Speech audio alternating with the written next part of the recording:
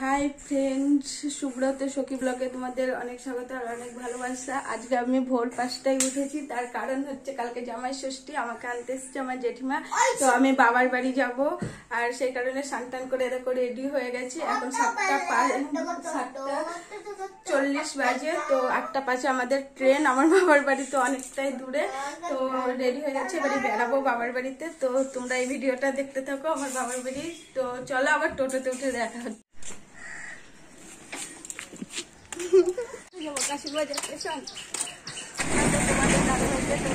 ঠিক আছে যাও ঠিক আছে। ঠিক আছে।